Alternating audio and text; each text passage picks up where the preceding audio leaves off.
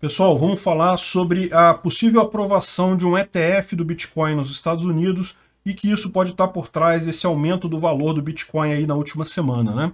Essa notícia foi sugerida por Jorge Soros Eu Te Amo, deputado federal honesto, comedor de casadas do Ancapistão, galinha de uma pata só, ciscou, caiu.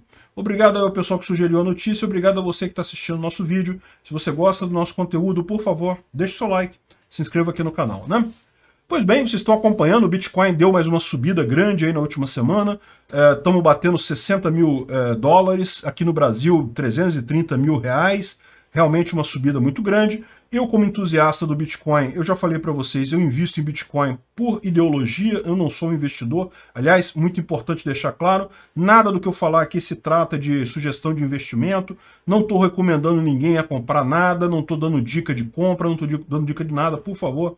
Esse canal é um canal sobre política, eu falo aqui de libertarianismo, e o Bitcoin é uma parte importante do libertarianismo, né? Aliás, é o que eu falo, é, é, a vantagem do Bitcoin quando ele dá essa subida é justamente que atrai mais gente. É, originalmente atrai gente querendo ganhar dinheiro apenas. Ah, vou investir em Bitcoin para trocar por papelzinho colorido depois e é, vou ganhar dinheiro nessa história. Né? Vou pegar meus reais, botar no Bitcoin para depois pegar real de novo. O problema é que, embora isso seja algo que funcione, né, as pessoas conseguem ganhar dinheiro se fizer a coisa certa, comprar na baixa, vender na alta, ganha dinheiro, mas é, não é esse o propósito do Bitcoin e não tem problema, as pessoas conhecem o Bitcoin dessa forma, à medida que vão investindo, que vão fazendo day trade, vão vendendo, comprando, não sei o que lá, em algum momento elas percebem o que está por trás do Bitcoin, o quão é revolucionária a ideia do Bitcoin, o quanto ela vai mudar o mundo nos próximos, nas próximas décadas. Né? Eu imagino que o tanto que a gente teve de mudança devido à internet, a gente vai ter mais um tanto desse de mudança devido às criptomoedas, particularmente ao Bitcoin realmente é algo revolucionário. Cai naquilo que eu já falei para vocês, né? Eu acho que a gente vai viver numa sociedade libertária em muito pouco tempo. Muito pouco tempo mesmo, muito menos tempo que o pessoal imagina. 20, 30 anos, a gente vai estar vivendo num ancapistão aí com um Estado sem poder nenhum sobre a população.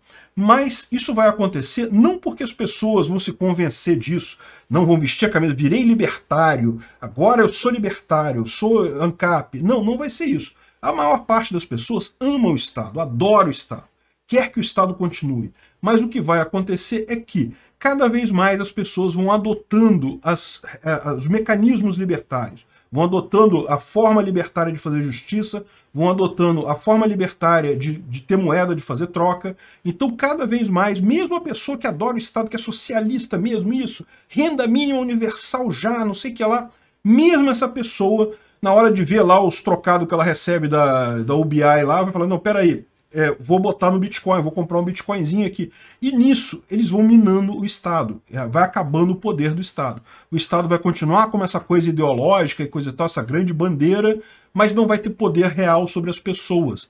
Vai poder parir um monte de leis lá, segundo os, os deputados e coisa e tal, mas não vai ter capacidade, mas não vai ter capacidade de garantir que as leis serão obedecidas. Mas isso é outro papo para outra hora. Vamos entender agora por que, que o Bitcoin está subindo esses dias, é, tá subindo bem mesmo, tem o valor dele aqui, ó, tá batendo 61 mil dólares hoje, uma subidinha aqui constante. E por que isso? Né? Tem vários motivos, mas um dos motivos é justamente a autorização da SEC para um ETF de Bitcoin nos Estados Unidos.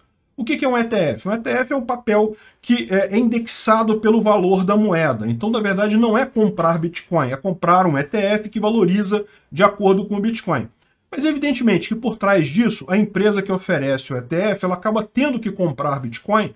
Por quê? Porque senão, se o Bitcoin disparar e ela não tiver os Bitcoins para com, compensar aquele valor, ela se ferra. Então ela precisa, de fato, ter um backup daqueles Bitcoins, é, daqueles ETFs em Bitcoin. Então isso implica, sim, em mais é, compra de Bitcoin, em mais uso do Bitcoin lá nos Estados Unidos. Aqui no Brasil já foi aprovado pela CVM um ETF de Bitcoin. Mas lembra, gente, o, o, mercado brasileiro, comparado com o mercado americano, o mercado brasileiro é o peido, pô, não tem nada aqui, né? É, então, um ETF lá no mercado americano é uma coisa realmente enorme. Pode ser uma, um game changer realmente no valor do Bitcoin, pode dar uma, um gás muito grande no valor da, da moeda, né? E veja, essa notícia aqui está falando, olha só, SEC autoriza Nasdaq a negociar o primeiro ETF de Bitcoin. Não é bem assim, vamos entender o assunto. Na verdade, o que aconteceu? Ela aceitou a listagem da Nasdaq desse ETF, né? É uma empresa, o ETF Bitcoin Strategy da Valkyrie aceitou para listagem, mas o prazo para ela aprovar oficialmente o pedido da ETF da Valkyrie é 25 de outubro. Então, ou seja, ainda tem algum tempo até isso, até aprovar esse ETF, mas tudo indica que deve aprovar, né? Então, uh, parece que, segundo o pessoal está falando, a SEC deve aprovar o ETF da Bitcoin na próxima semana, né? Porque de fato, 25 de outubro, hoje é dia 16 de outubro, semana que vem é de 18 a 22, 25 já é na outra segunda-feira, sem ser segunda-feira que vem, na outra segunda-feira. Então, em algum momento da semana que vem, a gente deve ver a aprovação da SEC desse ETF, e isso pode ser uma coisa muito positiva para o valor do Bitcoin. Agora, veja, é por isso que eu acho que é importante falar que eu não tô, não tô dando dica de investimento, não. Por quê? O que acontece nesses casos?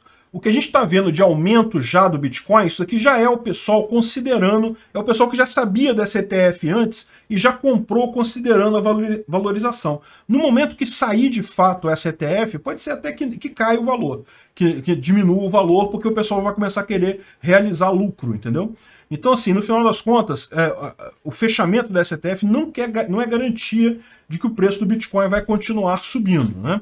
Vocês sabem, a minha visão é que o Bitcoin está destinado a se tornar a moeda de troca do futuro, então meio que não importa, ah, tá caindo hoje, está subindo hoje, eu, eu, ignoro isso tudo, sempre que eu posso eu compro Bitcoin, é, infelizmente eu sou pobre, não tenho muita coisa, mas sempre que eu posso eu compro, e é, no final das contas a minha visão é que qualquer pessoa que tiver pelo menos uma merrequinha de Bitcoin vai se dar muito bem no futuro. As pessoas percebem isso.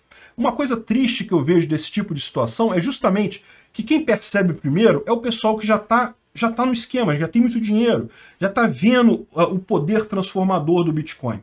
Todo mundo entra no Bitcoin querendo só ganhar dinheiro mas algumas pessoas percebem a, a, lógica da coisa, como ele muda a forma de se tratar o dinheiro, como ele é imune a ataques do governo ao seu dinheiro, e que isso vai ser um valor fundamental em alguns anos. Então, no final das contas, eu, eu fico meio chateado de ver tanta gente institucional entrando nesse mercado, né? Porque, veja, ETF atrai principalmente isso, grandes fundos de investimento, fundos de pensão, essas empresas grandes assim, eles são investidores que seguem regras específicas, né? vão seguir lá o índice XYZ da empresa KYW. É, eles seguem aquele índice certinho, porque eles não têm. É, é, é investimento de, sei lá, de é, fundo de pensão, esse tipo de coisa, então eles não têm poder de decisão.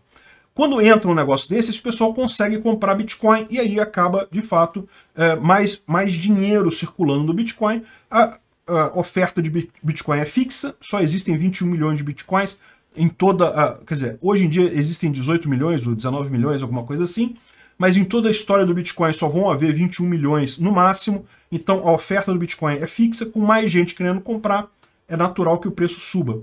Mas a minha preocupação é porque eu esperava que as pessoas percebessem o valor do Bitcoin antes desses investidores institucionais. Por quê?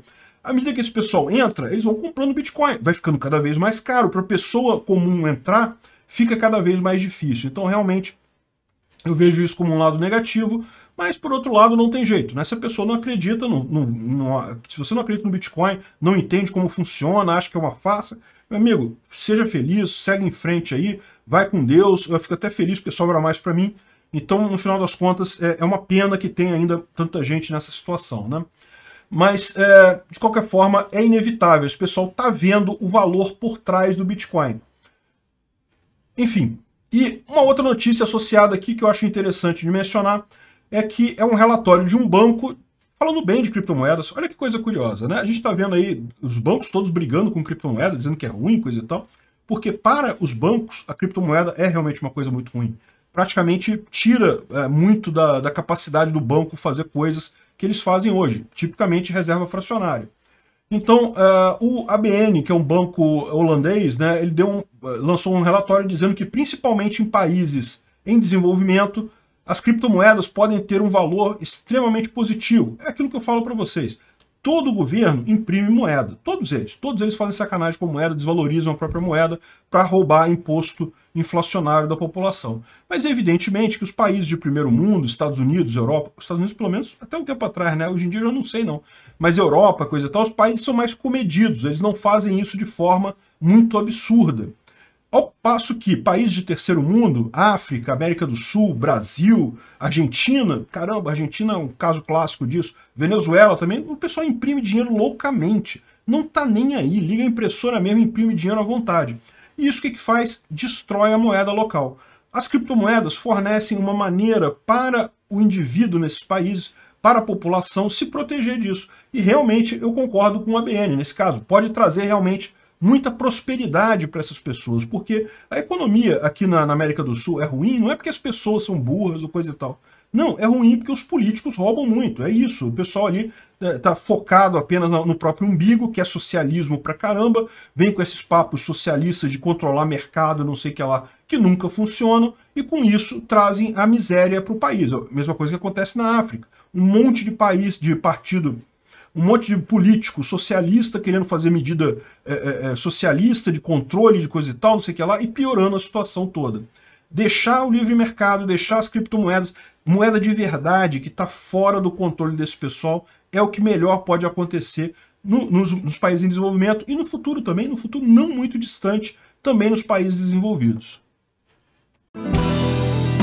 Obrigado por sua audiência. Se gostou do vídeo, por favor, deixe o seu like e se inscreva no canal para aumentar a relevância dele no YouTube. Assim, mais pessoas terão acesso às ideias da liberdade. Considere clicar no sininho e pedir todas as notificações para ser avisado de novos vídeos. Se quiser contribuir sugerindo notícias, vá em nosso site ancap.su, cadastre seu usuário, clique em sugerir pauta. Basta colocar o link da notícia, escolher a melhor foto e confirmar. Se quiser contribuir com o canal financeiramente, veja as formas de apoio nos links da descrição do vídeo. Contribuindo, você pode fazer parte do Discord dos patrocinadores. Se quiser camisas com a marca do canal, veja nossa loja no site pimentanocafé.com.br barra visão libertária. O link está na descrição do vídeo.